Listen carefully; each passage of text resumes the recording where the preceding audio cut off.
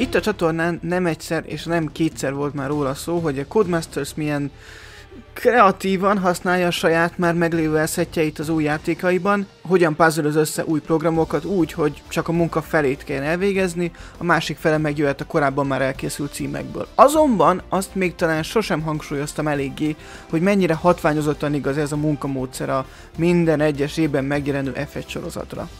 Persze, az évenkénti megjelenésű sportjátékok piacán ez szinte standard, sőt, szinte összetetjük a kezünket, hogy a FIFA, NFL, NBA játékok szintjét megütő olyasságok még nem nagyon vannak a sorozatban, hogy kicsit mégis vannak, arról majd később beszélünk.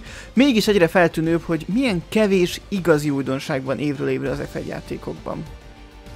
A tavalyi év két nagy dobása a továbbfejlesztett karriermód és az interjúrendszer bevezetése voltak, és míg az előbbi ténylegesen mélyítette a játékot, addig az utóbbi inkább zavaró gimmick lett, mint bármi más. És talán ez lesz a mai kritika kulcs kifejezése. A gimmick. A gimmick egy gyakorlatilag lefordítatlan angol kifejezés általában valami olyan tulajdonságot, funkciót vagy képességet jelent, aminek elsődleges feladata az érdeklődés felkeltése, de azon túl tényleges funkciója vagy szerepe nincs. Érzésem szerint pedig a Kodi évről évre gimikekkel, vagy legalábbis kihasználatlan játékmechanikákkal próbálja eladni magát. Ez hatványozottan igaz az FS sorozatra, ahol egyrészt radikális változásokat a licensz miatt nem lehet eszközölni, másrészt viszont rengeteg helyen kijön az a lustaság, vagy időhiány, vagy cinizmus, ami miatt folyamatosan csalódások az aktuális részek.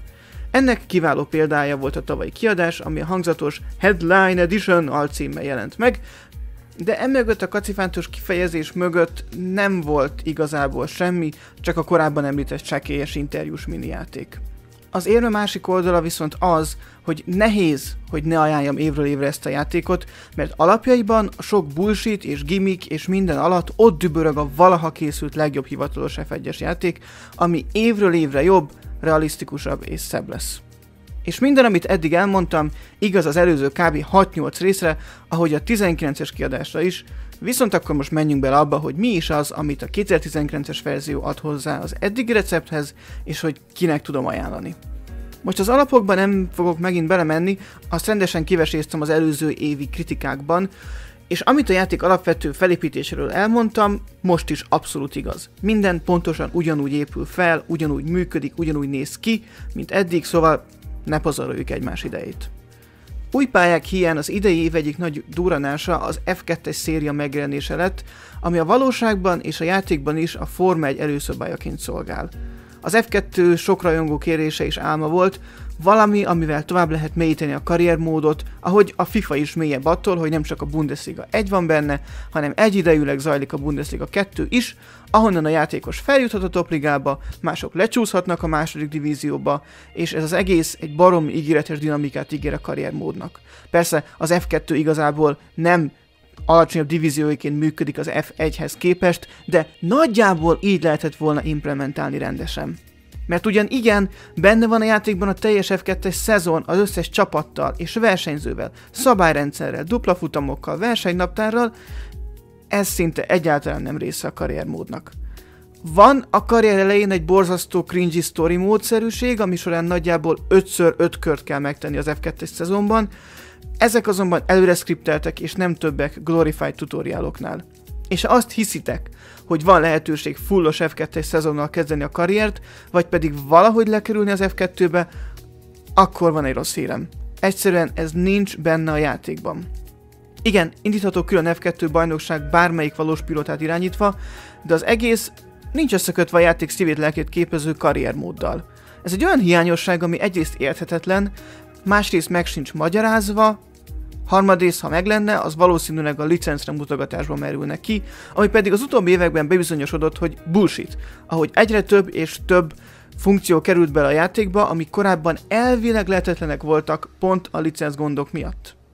Nincs kétségem felőle, hogy vagy jövőre, vagy utána, de az egyik fő feature az lesz, hogy mégiscsak rendesen beintegrálják az F2-t a játékba.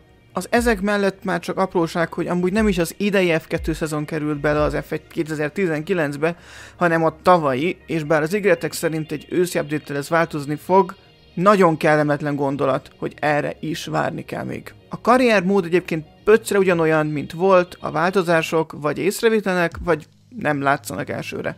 Maga az R&D és a hozzá kapcsolódó practice pontosan ugyanúgy működik, mint eddig, szóval izgalmasabb a pontok gyűjtögetése nem lett, viszont az autók egész vad módon fejlődnek az évad során.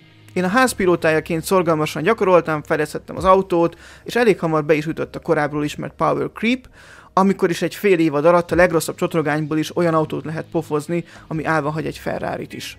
Viszont a legnagyobb meglepetésemre nem sokáig élvezhettem a vezetést, az évad harmadik harmadára nem csak a Williamsből lett középmezőnybeli autó, hanem a Force India, pardon, Racing Point is bejelentkezett az első helyre, és sorra nyerte a versenyeket. Nem tudom, mit csavartak a Codemastersnél a kódon, de ha nem is reális, viszont roppant izgalmas figyelni, ha, ahogy gyakorlatilag két versenyenként más ellen küzdünk, olykor egyenesen a középmezőnybe visszaesve. Ehhez kapcsolódhat, hogy a pilóták most már szabadon igazolhatnak a csapatok között, és ugyan a neten sokan panaszkodnak irreális megoldásokról, a játék gyorsan változó világában én nagyrészt logikus transferekkel találkoztam. Nálam például az évad közepén Hamilton fogta magát és otthagyta a Mercedes-t a Red Bull kedvéért, és ugyanez roppant butaságnak tűnt, Onnantól a Red Bull uralni kezdte a mezőnyt, és még a második számú pilóta Verstappen is másodperceket vert a visszacsúszó Mercikre. Évvégén pedig Hamilton húzott még egyet, és az utolsó versenyekre nagyon meglépő Force Indiához, Racing Pointhoz ment versenyezni. Ez elképesztő jó dinamikát ad a karriermódnak, és tényleg csak az a kár, hogy az egész egyenletből kimarad az F2, ami még jobban megbolondíthatna a dolgokat. Ebben a módban továbbra is fejlődünk, viszont ezeknek még mindig nincs sok jelentősége.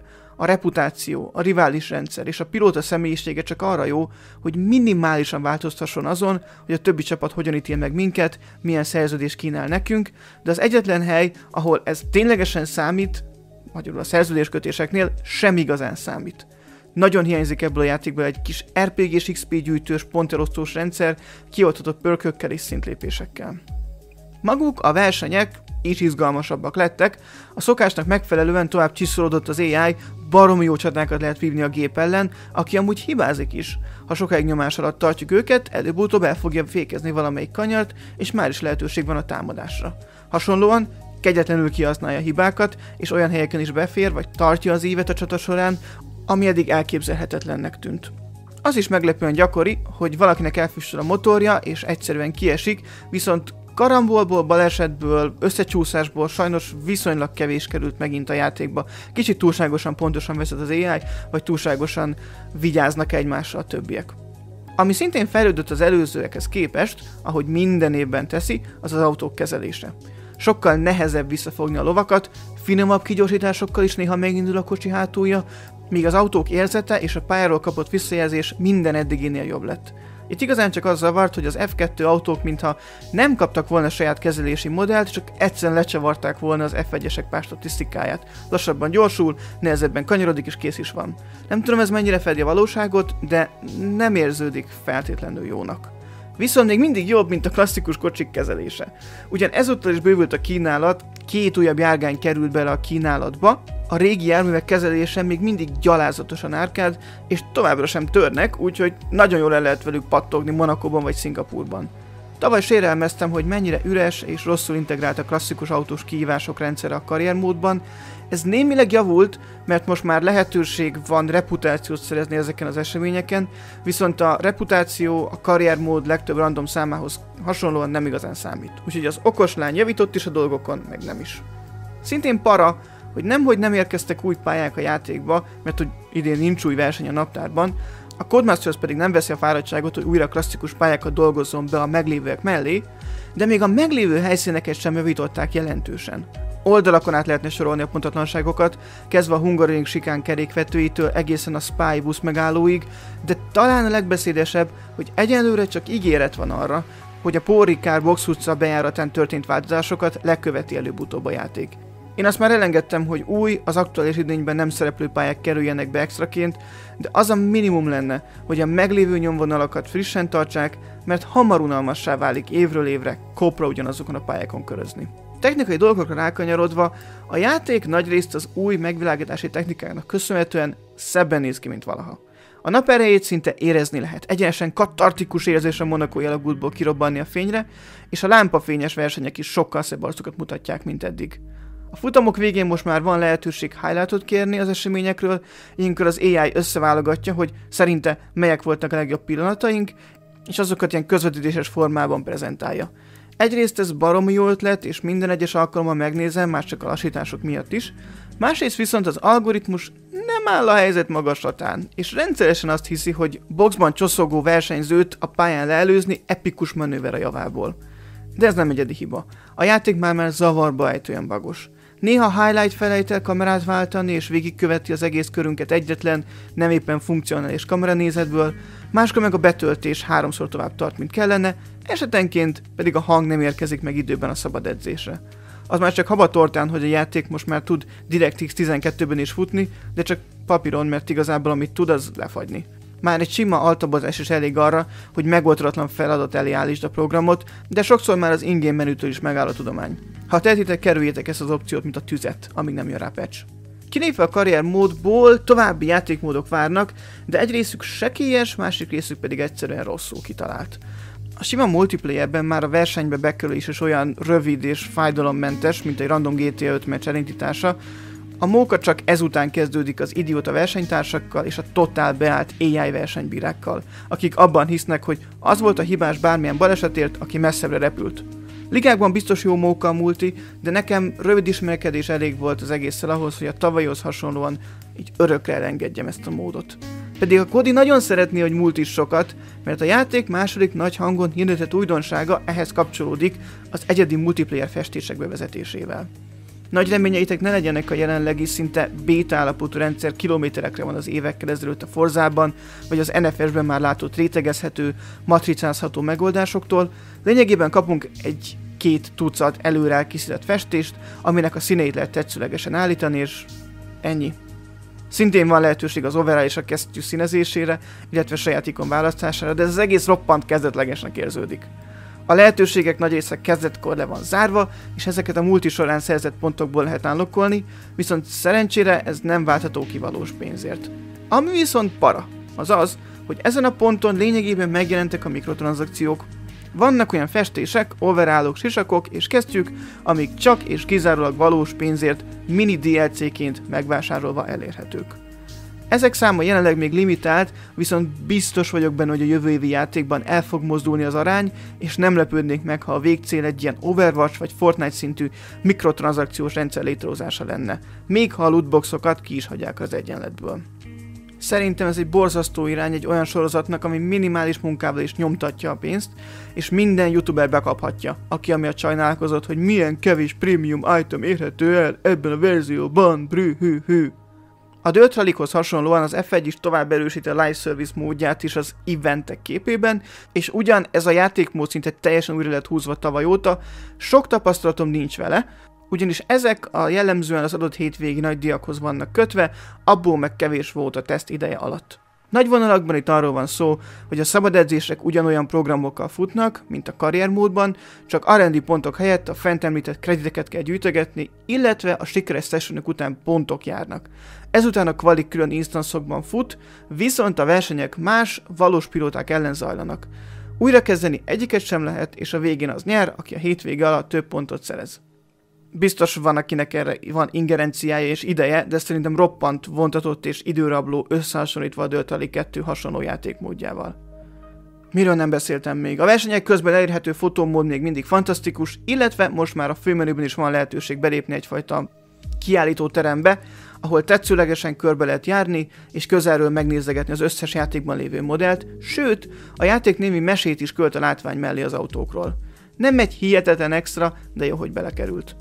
Még egy nagy játékmód maradt a végére, a bajnokságok rendszere. Ahogy mondtam, itt van lehetőség lejátszani a tavalyi F2 évadot, illetve különböző egyéb bajnokságokat, amik egyedi szabályokkal, időjárással, pályafelhozatalal rendelkeznek, és itt kapott helyet az idei játék Special edition megfelelő Legends content, ami a Prost vs. Sand páracra épül. Gimmicknek remek, de szinte semmi mélység nincs az egésznek, annyi meg főleg nem, hogy közel 4000 forint pluszt elkérjenek érte. És valahol itt ugrik a majom a vízbe az árnál. Mert szép és jó, hogy a játék fejlődött a tavalyihoz képest, de vajon ez igazolja-e az itthon 18, 20 vagy akár 24 ezer forintos árat? Én most, mindent figyelembe véve, Mindent átgondolva, azt mondom, hogy nem feltétlenül. Mert ilyen kevés újdonsággal teljesen valid alternatívát tud nyújtani a tavalyi verzió is, ami egy jó leárazás alkalmával már 3-4 ezer forintért beszerezhető digitálisan. Akármennyire is előrelépés a 19, ez egyszerűen kevés. A drip feeding valós probléma, és nem úgy tűnik, hogy javulna a helyzet a jövőben. Amit a Codemasters egy 20 ezer forintos csomagban adott ki, azt más stúdió ingyenes update-ként vagy nagyon maximum DLC-ként biztosítja a játékosoknak. És bár voltak plegykák, hogy a Kodi is erre az útra lép, ez eddig sajnos nem történt meg. Amíg pedig ilyen vérszegény és ilyen kevés a teljes áron kiadott játékuk, ilyen kevés az újdonság a tavalyi verzióhoz képest, addig nem tudom teljes szívvel ajánlani a nem fanatikus rajongóknak.